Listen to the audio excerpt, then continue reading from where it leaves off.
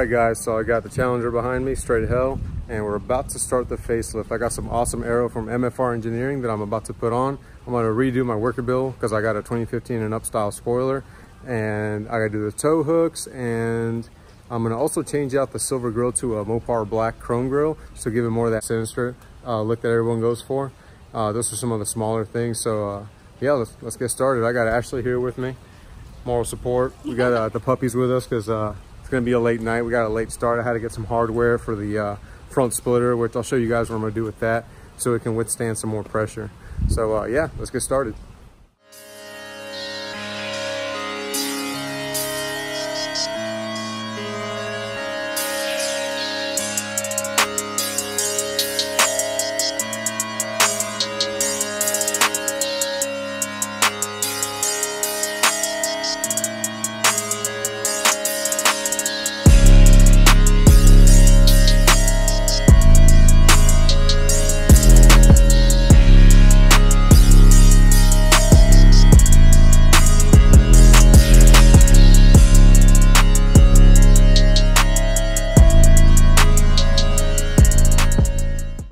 The necessary steps to uh, take off this front bumper here.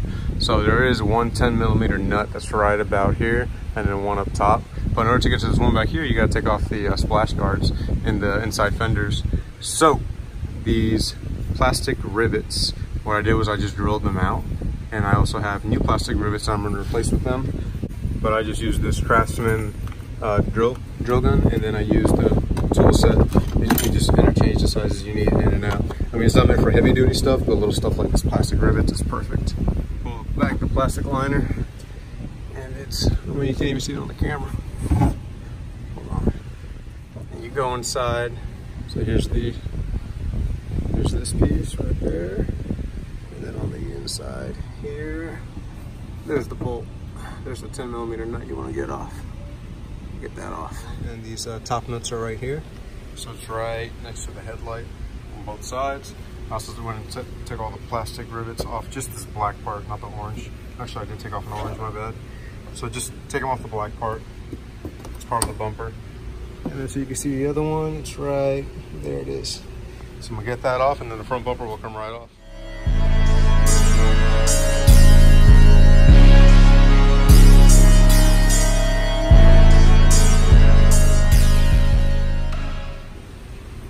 All right, so we got the bumper off. Uh, so we're gonna change out the silver grill for the black chrome grill. It's a Mopar part. Annie, what do you think about that? Okay, she's running away, but that's all right. So the way you do this, you see he's got these tabs on it.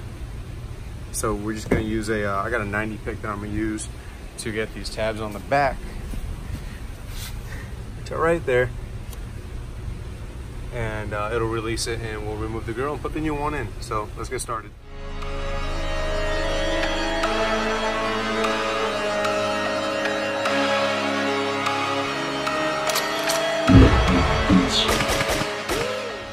All right so we got the black grill in. Um, it's a lot it's a lot harder than it looks i should say. Uh, took us a little bit but we got it in there. You got to push really hard. And when i said i was gonna use that 90 pick to push out the other grill yeah i lied. It's like impossible. So i ended up just breaking the tabs push the grill out push the new grill in and there it is. So now we're to move on to mocking up the front wind splitter that uh, mfr engineer provided for us. So i'm to actually put the bumper on top of the splitter and after I tape it with some blue tape to mark the holes with a red Sharpie where I'm gonna drill out. So I'm gonna show you guys all that next.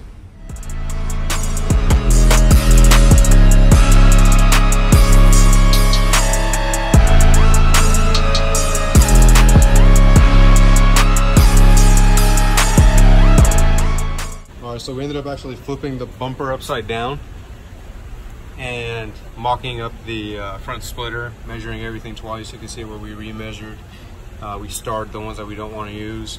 So for this first point, um, these are the rivnuts MFR provides. But I'm actually gonna mount this to the chassis. And the way I'm gonna do that is I made these plates right here. So this plate is gonna go on the inside of the bumper. There we go, like that. And on the other side, I'm gonna have this eye bolt. It's gonna come through like this and be sandwiched between the splitter and this metal piece I cut out. And through there, I'm gonna use some high tensile strength uh, braided wire. And it's actually gonna go and connect, walk over here, to another eye bolt that I'm gonna install right here. And then the high tensile wire will run from that eye bolt to the other eye bolt and it'll be nice and sturdy. And I also have some mounts that I need to add right here for the very front.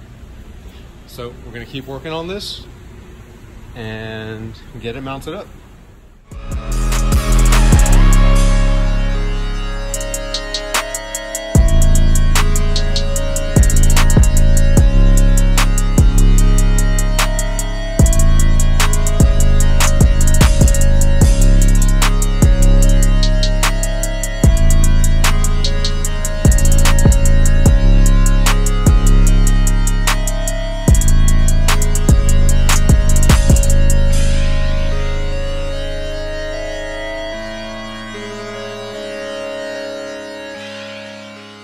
All right, guys, so there it is, all finished up. Uh, some things I didn't get on camera. My phone died, so we started charging it. We've been playing music all night. Uh, it is pretty late, um, but I used the rivnuts um, inside the plastic, but on the back side, I did fabricate some small uh, sheets of metal.